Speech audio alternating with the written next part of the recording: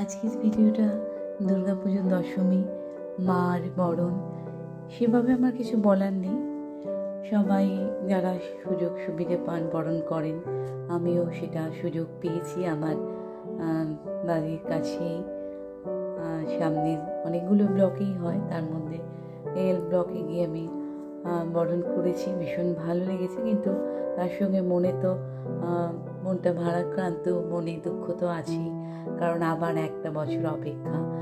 তো যাই হোক, মাকে বিদায় জানানোর পালা, মা, তুমি সবাইকে ভালো রেখো সারা বছর। আর খুশি আনন্দ দিয়ে যেও আর নিয়েও এসো। এই প্রার্থনা করি।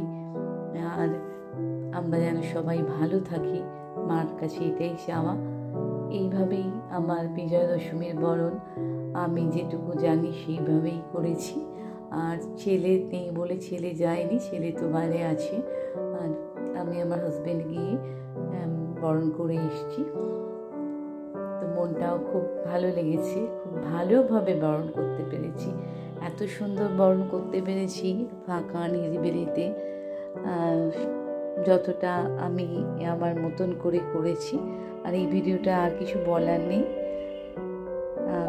আপনারা দেখুন। আমার বলাটা আমি আপাতত এখানেই শেষ করলাম।